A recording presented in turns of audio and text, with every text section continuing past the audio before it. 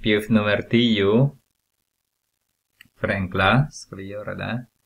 Där vi 5 genom x adderar med 2. Subtraherar med 3, subtraherar med x genom x adderar med 2. Här är den gemensam nämnare.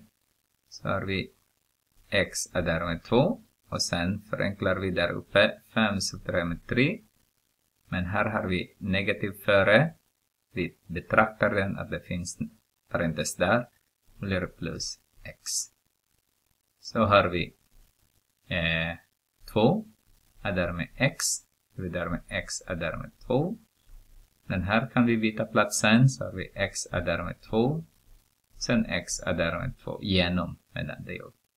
Om man grupperar dem genom att sätta in parentes så den här blir 1 och hela den där blir 1 också. Så bo, an, nämnaren och täljaren är lika. Så har vi 1. Finns det B? Titta på B.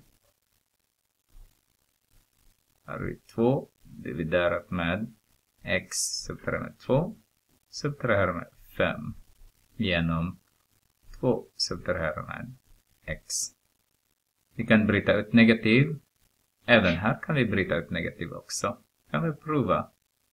Så har jag negativ 2 sätter jag med x som ni ser här. Så har jag 2. Sen negativ 5 dividerar med 2 sätter jag med x. Så har jag negativ 2 sätter jag med 5 genom 2 subtraherar x. Vi har negativ 7 genom 2 subtraherar med x. Och jag har negativ där. Om jag multiplicerar täljaren och nämnaren med negativ så har jag 7 genom x subtraherar med 2. Jag vet inte om ni får svara på det här sättet. Kanske det är okej. Okay. Men jag tror Ja, vad säger er bok? Jag tror den här har boken svarat. Mm. Fråga din lärare. Det här är också okej okay att svara. Den här. Hoppas att ni ser den när Ja, ah, jag gör så här. Den här. Jag hoppas att er lärare ja, säger jag. Det är okej okay också. Eh, på något sätt gör de så här. Två genom x subtraherar med 2 subtraherar med 5 genom 2 subtraherar med x.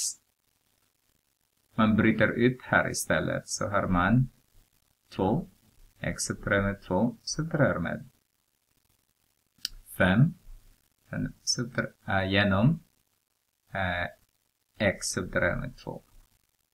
Så har vi negativ negativ så har vi 2 plus 5 genom x subtraherar med 2. Det här är kanske enklare. 7 genom x subtraherat med 2. Men det finns ingen som säger att ni får inte göra som jag har gjort här. Jag hade en elev som gjorde på det sättet, därför jag vill visa också. Om det händer så, så ni måste ha svar på det här sättet. Negativ 7 dividerat med 2 subtraherat med x. Men man kan omvandla den till det här också. Så upp till er och lär upp, upp till er lärare. Men jag tycker att det, det borde okej okay att vara på det här sättet.